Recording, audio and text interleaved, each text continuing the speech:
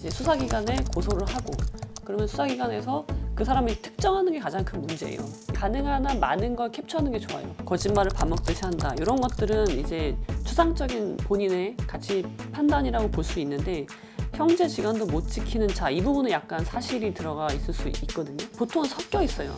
딱 모욕만 하고 명예훼손만 하지 않거든요. 소시오패스다, 어, 쇳바닥, 빼삐리 이런 말들은 굉장히 수위가 센데 이런 거는 모욕이라고 볼 수 있는 거죠. 그것도 역시 어, 찌라시를 내가 직접 만들진 않았지만 그것을 유포한 거잖아요. 대부분의 악플러들은요 되게 약한 사람들이에요. 텅 비어 있으면서 가득 찬 척을 하는 사람들이 보통은 악플 많이 달거든요. 굉장히 나약한 사람들. 초등학생의 경우도 있고요. 방구석 여포라고 하죠. 멘탈 승리하는 게 되게 중요한데요. 얘를 처벌하냐 선처하냐도 사실 중요한 문제가 아니, 아니고 내가 그 악플에서 그러니까 자유로워야 되는 거거든요. 자유롭게 내 삶을 살 수 있어야 되는데 한번 분석을 해보세요. 저 사람이 어떤 사람인지 대충 보여요. 악플 보면요. 그것도 수정된 게 있어요. 악플을 쓰거나 최근 방송인 김종국 씨, 작가 야옹이 씨가 과도한 악플에 법적 대응에 나섰습니다.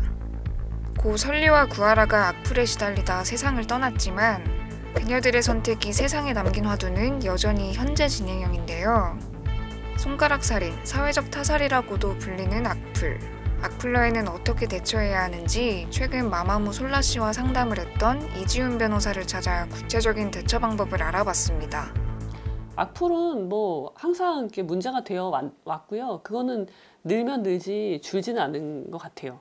그리고 저도 이제 개인 유튜브를 하다 보니까 악플이 이제 달리잖아요. 어떤 경우에는 많이 보다 보면은 이렇게 익숙해지기 때문에 크게 동요하지 않는데 어떤 경우에 굉장히 센 수위가 센 악플들이 있어요. 그런 거 보면 솔직히 인간이기 때문에 화도 나고 이제 아 이건 고소를 해야 되나 그런 생각을 하게 되는 거죠.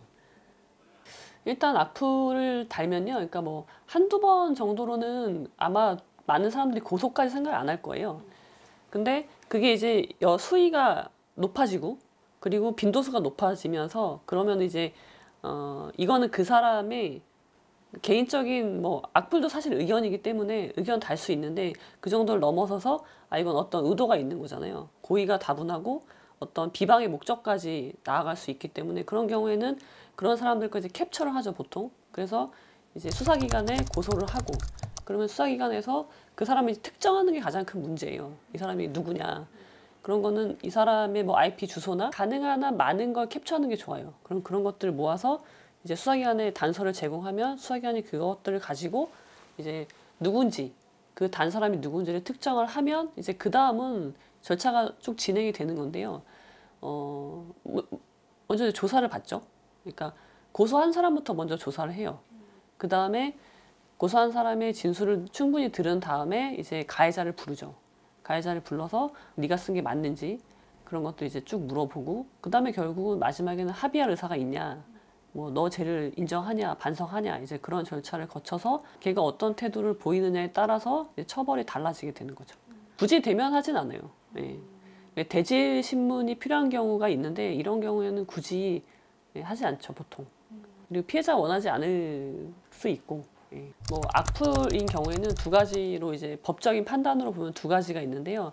하나는 명예훼손이고 하나는 모욕죄예요. 명예훼손이라는 거는 그러니까 구성 요건이 서로 다른데요. 명예훼손은 어, 사실을 적시하는 거예요. 사실이나 허위의 사실. 그리고 모욕은 사실이 아니라 사실이 아니라 추상적인 나의 판단, 가치 판단이나 그냥 모욕적인 감정적인 표현들 있잖아요. 그렇게 구분이 돼요. 형량이 모욕죄가 좀 낮아요. 명예훼손보다는. 명예훼손이 모욕보다 법정형이 더 세고 상대방을 무시한다, 내로남불이다, 거짓말을 밥 먹듯이 한다. 이런 것들은 이제 추상적인 본인의 가치 판단이라고 볼 수 있는데 형제 지간도 못 지키는 자 이 부분은 약간 사실이 들어가 있을 수 있거든요. 보통은 섞여 있어요. 딱 모욕만 하고 명예훼손만 하지 않거든요. 그러니까 어떤 사실을 적시하면서 이제 그런 감정을 쏟아내는 거란 말이에요. 이런 거는 뭐 소시오패스다, 뭐 쇳바닥, 빼삐리 이런 말들은 굉장히 수위가 센데 이런 거는 모욕이라고 볼 수 있는 거죠. 거짓말을 밥 먹듯이 한다, 소시오패스다. 네 마누라도 공공으로 돌리지 그래 이런 말들 이거 완전히 그냥 이건 모욕이죠. 네.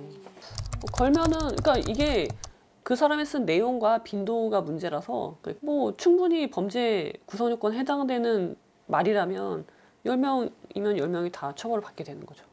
그것도 역시 어, 찌라시를 내가 직접 만들진 않았지만 그것을 유포한 거잖아요. 그러면은 어, 명예훼손으로 같이 처벌될 수 있어요.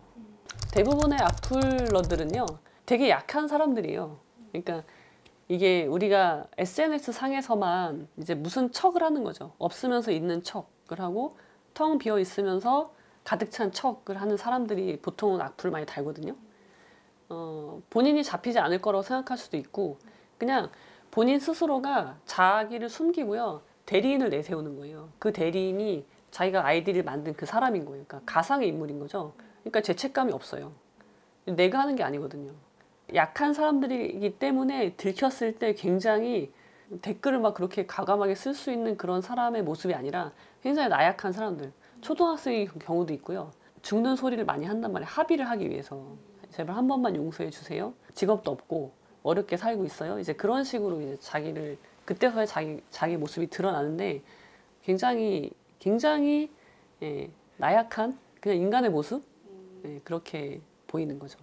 방구석 여포라고 하죠. 멘탈 승리하는 게 되게 중요한데요. 그러니까 악플을 단 사람을 형사 처벌해도 사실 내가 그걸로 인해서 상처를 이미 받았으면 내 삶에 계속 영향을 미치거든요.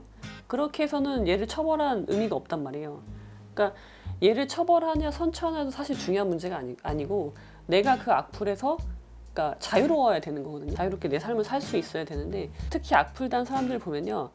어, 그 말의 자, 그 악플 자체에 허점이 되게 많아요.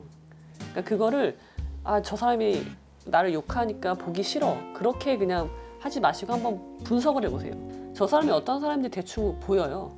왜냐면 글을 쓴다는 거는 말을 뱉는 거랑 다르단 말이에요. 아무튼 생각이 한 번은 정제가 돼서 나오는 거거든요.